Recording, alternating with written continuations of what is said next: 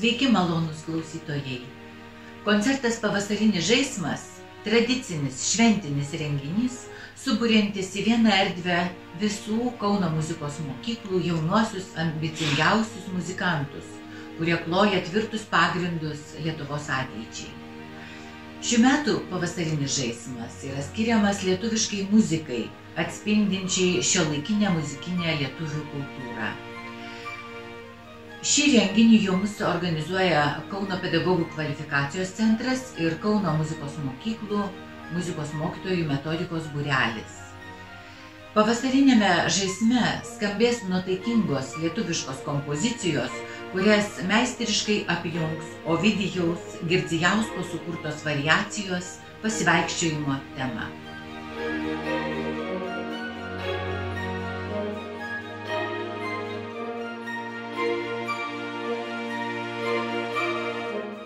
Sveiki, aš esu Simonas Gabrielius, Kauno berniukų chorinio dainavimo mokyklos varpelis antrokas.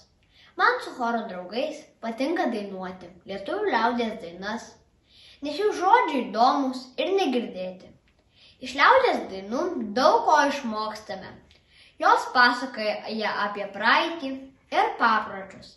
Tad kviečiu visus pasiklausyti Dainiaus Pulausko aranžuotos lietuvių liaudės dainos už žalių miškelių.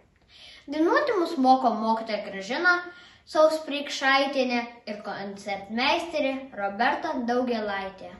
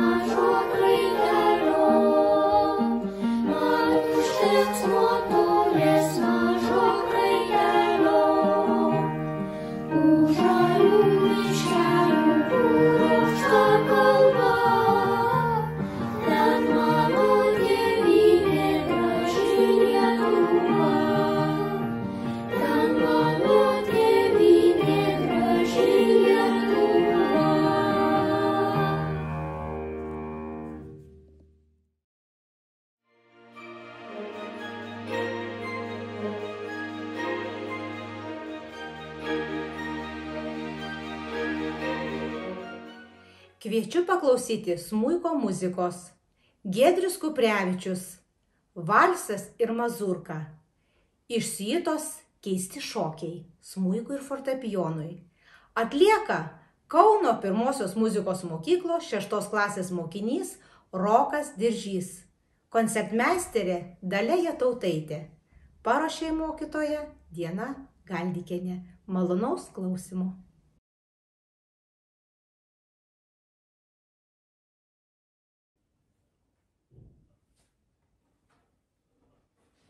Thank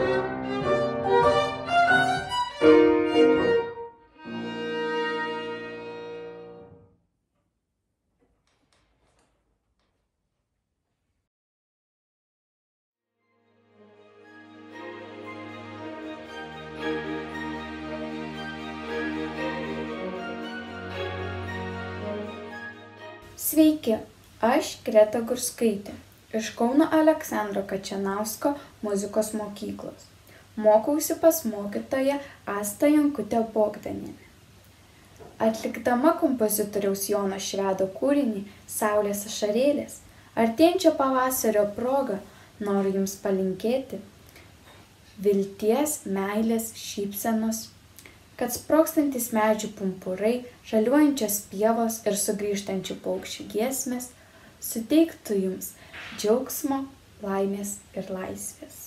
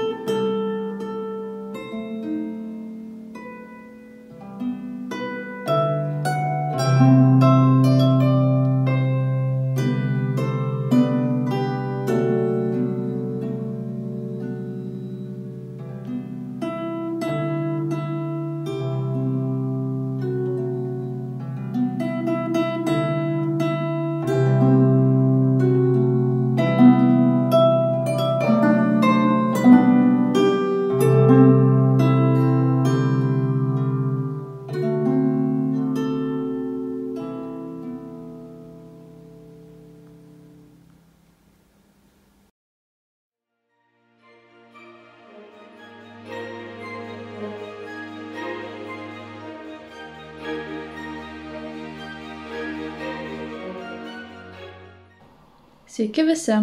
Šiandien mums visiems trūksta muzikavimo džiaugsmo gyvai.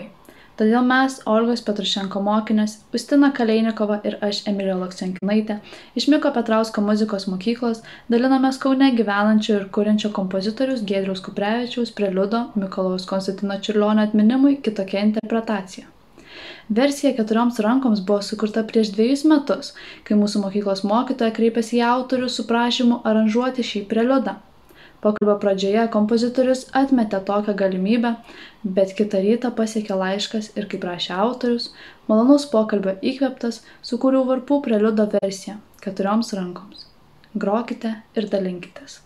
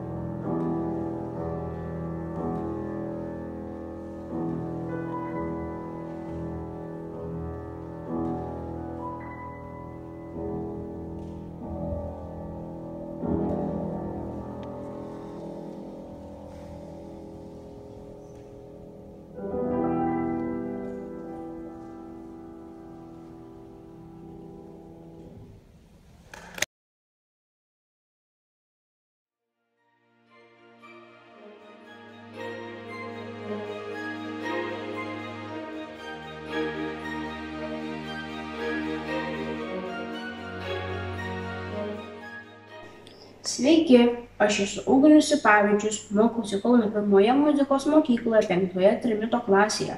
Mano mokytas Evaldas Liutkauskas akomponuoja Laima Liutkauskienė. Trumpai pristatysiu savo atliekamą kūrinį Vytautas Klova Udrio daina iš operos Pilėnai. Vytautas Klova, ryškus Lietuvos kompozitorius ir pedagogas. Žymiausias jo kūrinys opera Pilėnai iki šiol laikoma populiariausia lietuviška opera. Už šią operą 1957 metais kompozitorius buvo apdovanotas ir tapo valstybinės premijos laureatu. Pilėnai yra vienintelė lietuviška opera, kuri nuo pat premjeros 1956 metų ilgam įsitvirtino nacionalinio operos ir baleto teatro repertuare. Kviečiu pasiklausyti.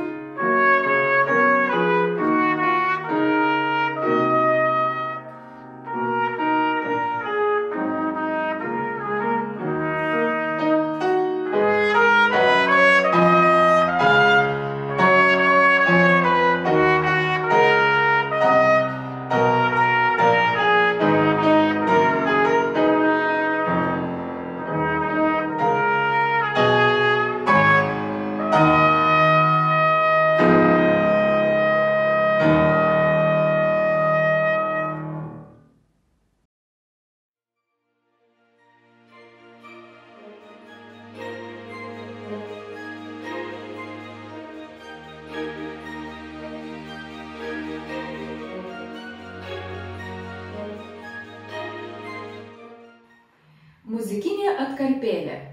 Tai Šiauliuose gyvenančio kompozitoriaus Dainiaus Danilaičio kūrinys fortepijonui, aranžuotas kanklėms ir šiais metais sausio 23 dieną atliktas Respublikinėme originalios lietuviškos muzikos kanklėms ir birbinėms konkurse Minijos vingiai.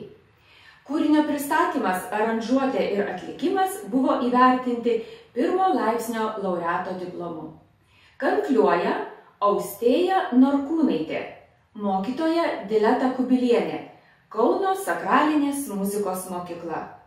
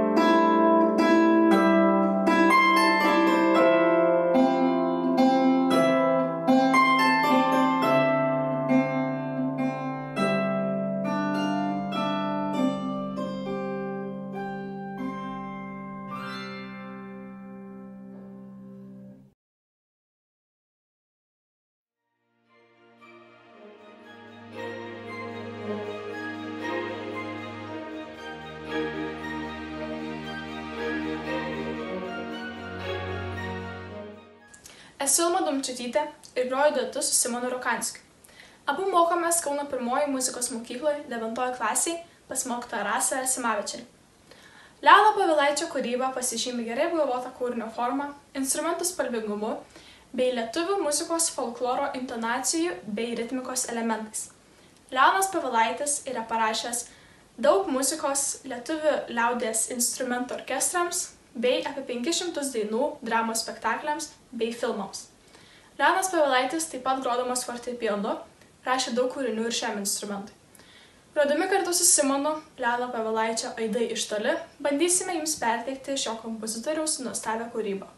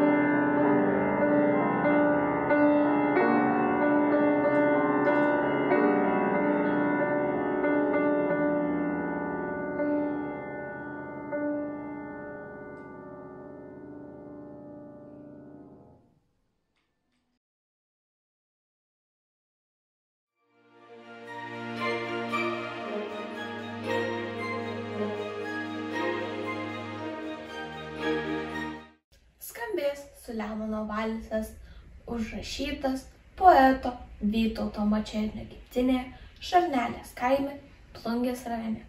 Aš, Viltė Koklevičiūtė, grosiu kanklėmis ir man pritars fortepijonu mano sesė Miglė Koklevičiūtė, mokytojas Ona Šikšnienė ir Aušra Banaitienė, Kauno Vyturio gimnazija.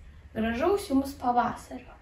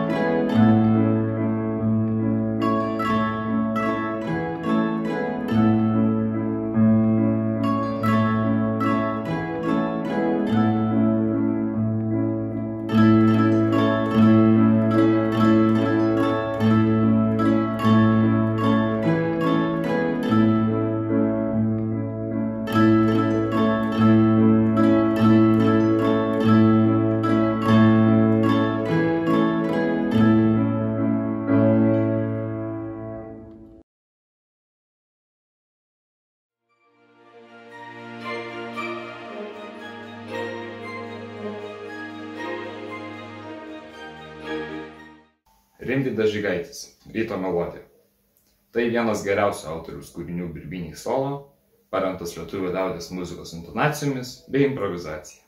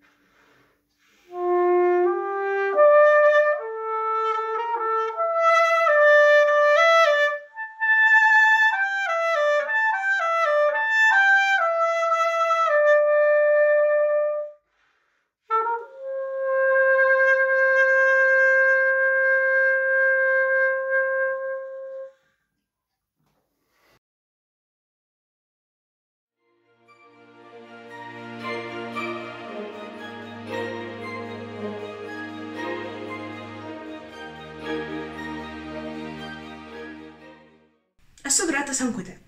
Kauno pirmosios muzikos mokyklos mokytojas Editos Matulioninės fortepijono klasės dešimtokė. Visą mokymosi laikotarpį mane žavėjo lietuvių kompozitorių kūryba, o ypač čiulionio muzika. Istoriškai Mikaloj Konstantinui Čiulioniui teko lietuvių nacionalinės muzikos pradininko vaidmuo. Daugelis muzikos tyrinėtojų Čiulionį vadina lietuviškuoju šopenu. Tuo pabrėždami romantizmo idėjų ir stilistikos atspindžius ankstyvojoje kūryboje. Paties kompozitorius straipsnėje apie muziką, pasirodžiusiame 1910 metais, Čiulioninės Kimantaitės knygoje Lietuvoje, skaitome, kad muzikai jis suteikė dievų kalbos reikšmę ir galę. Laikė ją pirmutinę ir svarbiausią kalbą, kuri padeda žmogui išreikšti savo visokiojopus jausmus. Aš pagrosiu Čiulionį preliudą F-mol, kuris buvo parašytas 1901 metais prieš pradedant studijas Leipcigo karališkojoje konservatorijoje. Kompozitoriui tada buvo 26 metai. Šie metai ypatingi tuo, kad jie būtent žymi laiką, kai Čiurlionis kūryboje išbandė visas 24 tonacijas. Šis preliudas, kaip ir visa Čiurlionio fortepijoninė kūryba, mane žavė savo jausmų ir minčių gilumu, kuriuos bandysiu perteikti.